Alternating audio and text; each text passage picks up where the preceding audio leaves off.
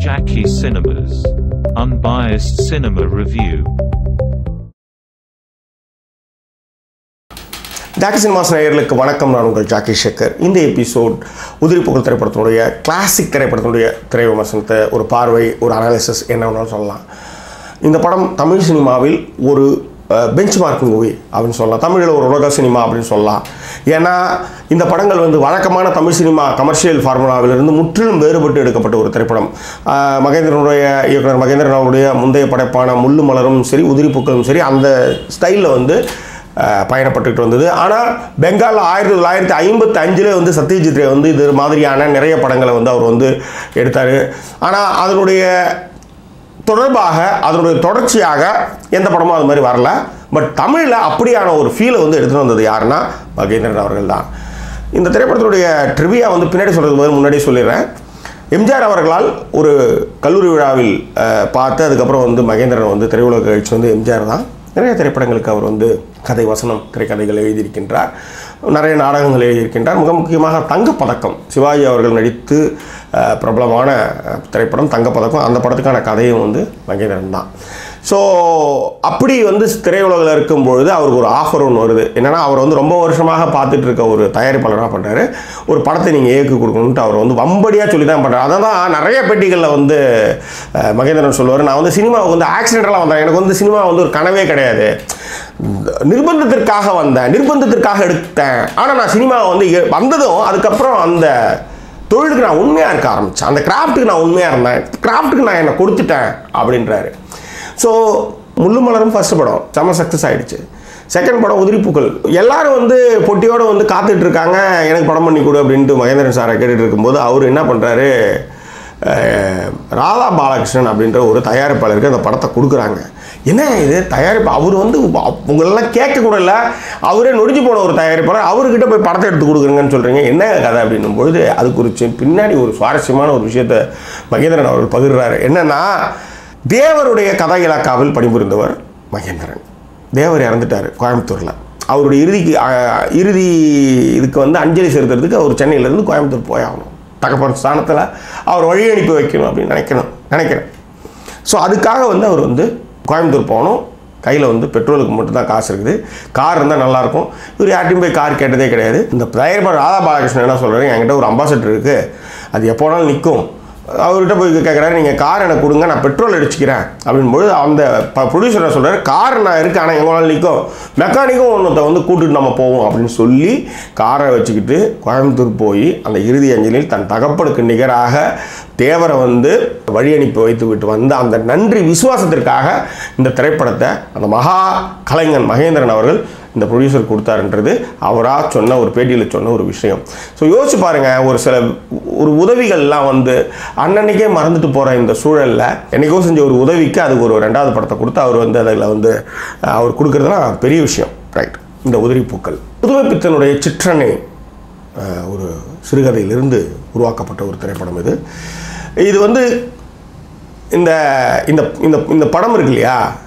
இந்த படம் வந்து கொஞ்சம் தான் வந்து அதிலிருந்து சிற்றனையினுடைய பாதிப்புலேருந்து எடுத்தாலும் கூட ஃபுல் கிரெடிட்ஸை வந்து புதுமை பித்தனுக்கு வழங்கினார்.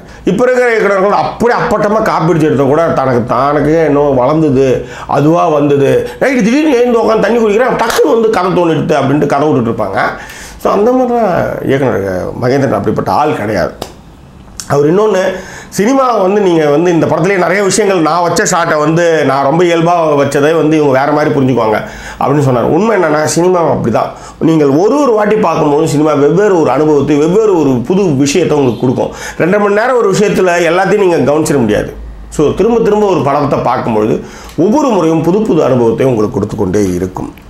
அப்படி உங்களுக்கு புது புது அனுபவத்தை கொடுக்குற படம் எதுங்க அப்படின்னா நீ தானே என் பொண்ணு அப்படின்னு சொல்லுவேன். அந்த படத்தை நான் எத்தனை வாட்டி பார்த்தாலும் எனக்கு அது ஒரு புது புது அனுபவத்தை எனக்கு கொடுத்து கொண்டிருக்கின்றது. ரைட் இப்போ உதிரி பூக்களுக்கு வருவோம் உதிரி பூக்கள்.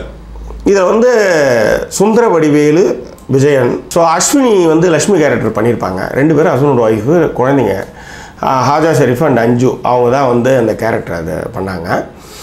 ஸோ இவங்க ரெண்டு பேருடைய மன வாழ்க்கை போயிட்டுருக்கு இவர் என்னென்னா ஒரு ஸ்கூலில் வந்து ஒரு ஸ்கூலை வச்சு நடத்திட்டுருக்காரு இவர் என்னன்னா அந்த உலக இந்த அந்த ஊர்லேயே வந்து இவர் வந்து ஒரு பெரிய கை. இன்னொன்று தன்னுடைய மாமனார் சாருகாசனுக்கு இவர் கடன் வேற கொடுத்துருக்கிறாரு.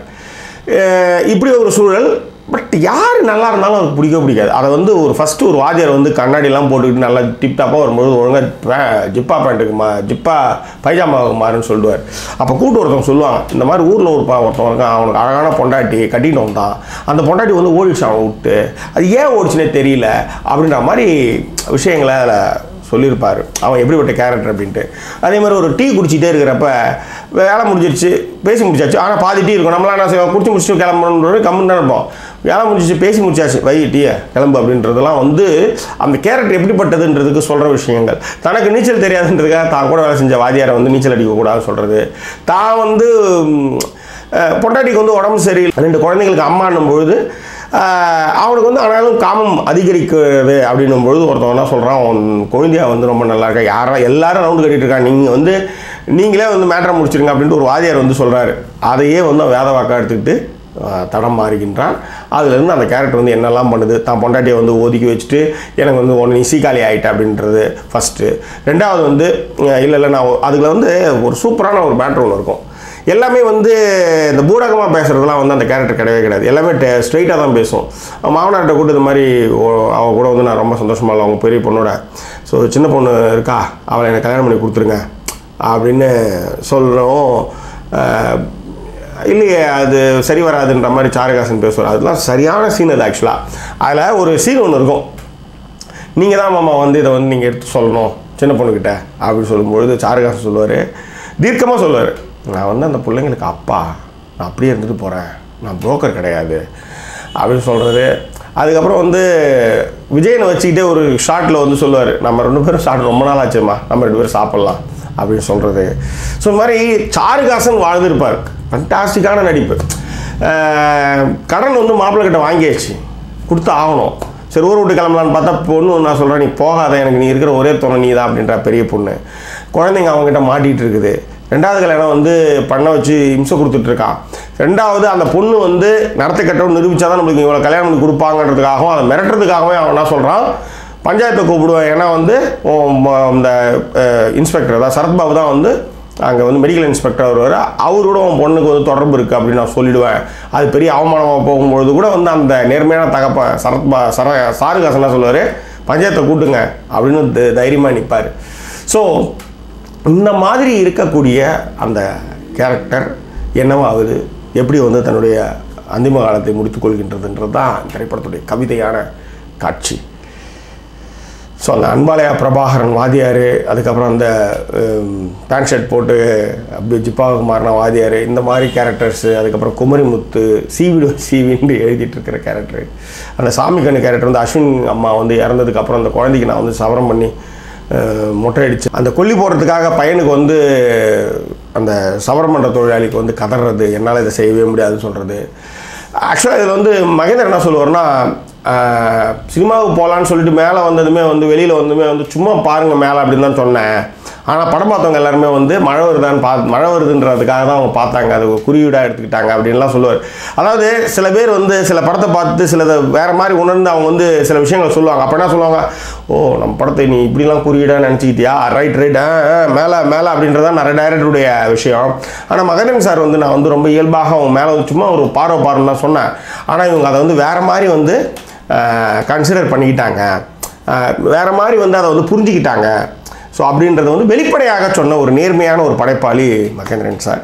அதே மாதிரி குறியீடுன்ட்டு இது கிளைமேக்ஸில் வந்து அந்த பொண்ணை வந்து மானபங்கப்படுத்தும் பொழுது வந்து ரொம்ப லெ லென்த்தாக போகணும். ஆனால் ரொம்ப சின்னதாக இருக்குது அந்த இம்பேக்ட் வந்து கிடைக்கலன்னும் பொழுது வாத்தியாரை வந்து ஒரு வயக்காட்டுக்கு உட்காந்து ஒரு ஒரு ஒரு சின்ன செடியை எடுத்து கொஞ்சம் கொஞ்சமாக பிச்சு போடுன்னு ஒரு ஷார்ட் ஒன்று எடுத்திருந்தேன்.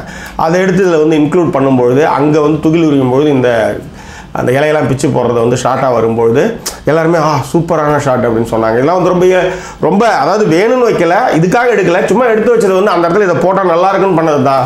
ஆனால் அது வந்து மிகப்பெரிய குறியீடு அது இதெல்லாம் நிறைய பேர் பேச ஆரம்பிச்சிட்டாங்க அப்படின்றது அதே மாதிரி இந்த படத்தோடைய கிளைமேக்ஸ் இந்த படத்தோட கிளைமேக்ஸ் வந்து மரண தண்டனைக்கு எதிரான குரல் கொடுக்கக்கூடிய அத்தனை பேர் இருக்காங்க இல்லையா? அவங்களுடைய மன ஓட்டத்தினுடைய பிரதிபலிப்பு தான் அந்த கிளைமேக்ஸ் ஆக்சுவலி அவன் த தப்பு தான் செஞ்சுருக்கான். ஓகேவா ஆனால் அவன் யாரையும் கொலை பண்ணலை.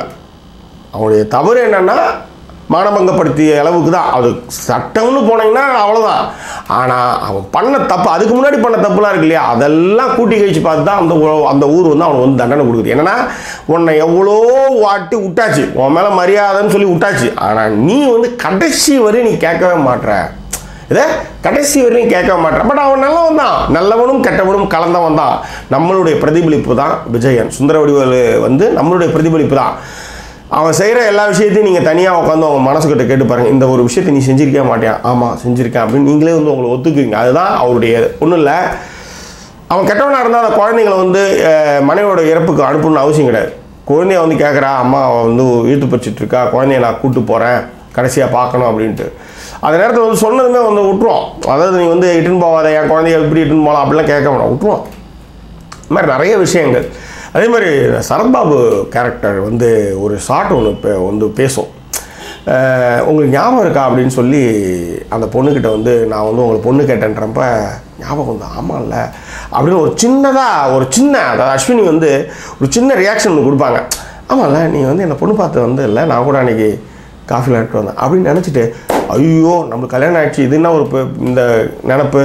இது தெரிஞ்சால் கூட அவன் திட்டுவான் கண்டுபிடிச்சானா காலி பண்ணிட்டோம் அப்படின்ட்டு அந்த அந்த சிரிப்பு அந்த புண்ணைகள்லாம் ஒரு செகண்டு வந்துட்டு அப்படி போகிறது வந்து சான்ஸே இல்லை. அதனால தான் மகேந்திரன் சொன்னார் அஸ்வினி வந்து நடிக்கலைன்னா நான் முதிரி புகழை எடுத்துக்க மாட்டேன் அப்படின்னாரு. அந்த படத்திற்கு மிக தே சரியான பதா கதாபாத்திரம் வந்து அந்த பொண்ணு. அதுவும் இல்லாத அந்த பொண்ணு வந்து முன்னாடி நடித்த படம் வந்து ஓடலை அப்படின்ட்டு மகேந்திரன் அந்த ஃபோட்டோ கேட்டப்போ கூட அவங்க ஃப்ரெண்ட்ஸ் வந்து கொடுக்க மாட்டேன்னு சொல்லி என்னது ஐயோ அது ராசி இல்லாத பொண்ணுலாம் சொன்னாங்களாம். அந்த படத்துக்கு அந்த பொண்ணு தான் தேவை அப்படின்னு சொல்லி நடிக்க வச்சதாகட்டும். அதுதான் இன்றைக்கி வந்து அது வந்து கிளாசிக்காக இருக்குது இந்த அம்மா வந்து பேசவே பேசாது அந்த பொண்ணு. அதிகபட்சம் கொஞ்சமாக தான் பேசும் இந்த படத்தில் இருக்கிறதுல மிகப்பெரிய ஹைலைட் எதுன்னா பெட்டில் வந்து நைட் எஃபெக்டில் வந்து அஸ்வினி படுத்துட்டு இருப்பாங்க. அப்போ வந்து உன் தங்கச்சி நான் கல்யாணம் பண்ணிக்க போகிறேன் அப்படின்னு சொல்லுவாங்க. அது வந்து ஒரு ஷார்ட் ஒன்று கம்போஸ் பண்ணியிருப்பாரு Ashok Kumar what a lovely shot பா சான்ஸே கிடையாது. அதாவது உள்ளுக்குள்ளே அப்படியே வெதும்பி வெடித்து அது வந்து வி காண்ட் என்ன சொல்கிறது எக்ஸ்பிளைன் இந்த சீன் அதை நீங்கள் பாருங்கள் அது அப்போ உங்களுக்கு புரியும். அதே மாதிரி சண்டை காட்சிகளில் வந்து அடித்து போட்டு துமால் கொட்டுறதெல்லாம் இல்லாமல் ரெண்டு நான் வந்து உங்ககிட்ட பேச வரேன்னு சொன்னதுமே கொஞ்சம் நேரம் கழிச்சு ட- அடுத்த ஷாட் ரெண்டு மூணு ஷாட்டை காமிச்சிட்டு ரத்தத்தை தொடச்சிக்கிட்டு சட்டையை போட்டு கண்ணடை போட்டு உன்னை உதைக்கிறது ஒன்றும் பெரிய விஷயம் கிடையாது. அஸ்வினி அவ லக்ஷ்மி வந்து விதவாயிடும் அப்படின்ற மாதிரி போகிறது கிளைமேக்ஸ் ஊரே வந்து அவனுக்கு வந்து ஒரு தண்டனையை கொடுக்கும் சுந்தர வடிவேலுக்கு. ஆற்றுல இறங்குற ஒரு தண்டனை.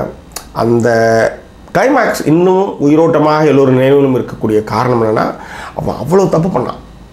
அவ்வளோ தப்பு பண்ணான். ஆனால் அந்த குழந்தை சிரிப்பு இருக்குது பற்றி அஞ்சுவோட சிரிப்பு அந்த சிரிப்பை கஷ்டத்தில் காமிச்சிருப்பாரு. அவங்கள கூட்டு வந்து ஒரு தகப்பனாக அந்த பிள்ளைங்கிட்ட வந்து ஒரு பேசுகிற அந்த அந்த விஷயம் படிக்கணும் அப்பா குளிக்க போகிறேன் அப்படின்னு சொல்கிறது அதே மாதிரி மக்கள்லாம் பார்த்து பொதுமக்கள்லாம் பார்த்து சொல்கிறது என்னென்னா நான் வந்து கெட்டவன். நீங்கள் எல்லாருமே நல்லவங்க. ஆனால் இன்றைக்கி உங்கள் எல்லாரையும் நான் வந்து கெட்டவனாக மாற்றிட்டேன் நான் செஞ்சதே பெரிய தப்பு அதுதான் அப்படின்னு ஒரு வாதியாராக கடைசி அவன் சாவ போகிறான் மூச்சு நிறுத்திக்க போகிறதுக்கு முன்னாடி வந்து ஒரு வாதியாராக ஒரு பள்ளிக்கூடம் நடந்த வாதியாராக யோசிச்சது ஒரு ஷாட்டு அதை விட அங்கே ரெண்டு வாதியார் அதாவது தான் க தான் பொண்ணை வந்து தான் வந்து கல்யாணம் பண்ணி போகிற பொண்ணை வந்து துகிலி உறிஞ்சவன் எதிர்க்க நிற்கிறான் அவன் சாவட்டுன்ட்டு குரூரமாக ரசிக்கிற ரசிக்கிற மனோபாவம் தானே எல்லாருக்குமே இருக்கும். நீங்கள் நான் எல்லாருக்குமே அப்படி தானே இருக்கணும்? ஆனால் தண்ணியில் இறங்க நடந்தமே பட்டார்னு பாஞ்சி அந்த அந்த அந்த தற்கொலையை தடுத்து நிறுத்துறதுக்கு பா ஏன்னா வாதியாருங்க அவங்க ரெண்டு பேருமே. ஸோ பா பாடம் சொல்லி கொடுக்குற வாதியார் வாதியார் அந்த அந்த வாத்தியார் வேலைக்கு வந்து அந்த மனசும் அந்த மனசு எப்படி இருக்கும்? கருணையை போதிச்சுட்டு வெளியில் வந்து இதுவாக இருக்க முடியுமா? ஸோ அதை வந்து அந்த ஷாட்டில் வந்து அதை வந்து அழகாக சொல்லியிருப்பார் மகேந்திரன். அவங்க ரெண்டு பேரும் அந்த தா தாவி போகிறதும் அந்த குழந்தைய வந்து அதை பார்த்துடக்கூடாது அணைச்சிக்கிற அந்த ஷாட்டு ஃபண்டாஸ்டிக்கான ஒரு சீன் அது. உதிரிப்புகள் படத்தோடைய மிகப்பெரிய பலமாக நான் கருதுவது அதான் நாலு லெஜெண்ட்ஸ் ராஜா அசோக்குமார் லெனின் மகேந்திரன். இவங்க நாலு பேர் வந்து ஏன் லெஜெண்ட்ஸ்னால் அந்த படம் தான் அதுக்கு உதாரணம். ஃபஸ்ட்டு அந்த ஒரு குழந்தையோட ஒரு பையன் ஒரு அம்மா வந்து நிற்கிற அந்த இதில் வந்து டெம்பிள் கிரியேஷன் போடுறப்ப ராஜாவுடைய அந்த மியூசிக் வந்து ஆரம்பிச்சிடும் அவர் தான் ஃபஸ்ட்டு சாங்கு டைட்டில் சாங்கு ஏ இந்த பூந்தென்றல் தாலாட்ட. இந்த சாங் அவ்வளோ அற்புதமாக இருக்கும். அதில் வந்து இந்த படத்தில் வந்து கண்ணதாசன் எம்ஜி வல்லபன் அவங்களாம் இருப்பாங்க. இந்த பர்டிகுலர் இந்த பாட்டு வந்து கங்கை மரன் எழுத இளையராஜா பாடியிருப்பார். S Janaki and SP Sailaja ரெண்டு பேர் தான் வந்து ஃபுல் பாட்டு பாட்டுப்பாங்க மேல் வயசே இருக்காது இதில். இளையராஜா மட்டும்தான் அதில் வந்து மேல் வாய்ஸ் ஆக்சுவலி சுந்தரவடிவேலுக்கு அஹ், கொழுந்தியாவா செண்பகம் கேரக்டரில் வந்து மது மாலினி வந்து பண்ணியிருப்பாங்க சங்கீத அதாவது ஒரு துடுக்கான ஒரு பெண் அந்த பெண் மீது வந்து எப்படி வந்து ஈர்ப்பு வரணும்னு அப்புறம் துடுக்காக தான் இருக்கணும். ஏன்னா எப்பயுமே வந்து ஆப்போசிட் போல்ஸ் அட்ராக்ஷன் ஈச் அதர்னு சொல்லுவாங்க. ஃபஸ்ட்டு வந்து அஸ்வினி வந்து ஒய்ஃப் வந்து ரொம்ப காமாக இருப்பாங்க. இந்த பொண்ணு வந்து ரொம்ப துடுக்காக இருக்கும். ஸோ அதுவும் ஒரு காரணம் அப்படின்றதுக்காக அந்த கேரக்டரை அப்படி வந்து வடிவமைச்சிருப்பார். அவங்களும் ரொம்ப நல்லா பண்ணியிருப்பாங்க மனோரமாவுடைய பையன் பூபதி அவர் தான் வந்து சரத்பாபுடைய அசிஸ்டண்ட்டாக இருப்பார். அந்த ரயில்வே ஸ்டேஷன் சீனும் கூட ரொம்ப நல்லா பண்ணியிருப்பாங்க ஸோ இந்த- இந்த படம் வந்து இவ்வளவு சுவாரஸ்யங்களுக்கு இந்த பேக்ரவுண்ட் ஸ்கோர் அதுவும் சிக்னேச்சர் சாங் அழகிய கண்ணே உறவுகள் நீயே.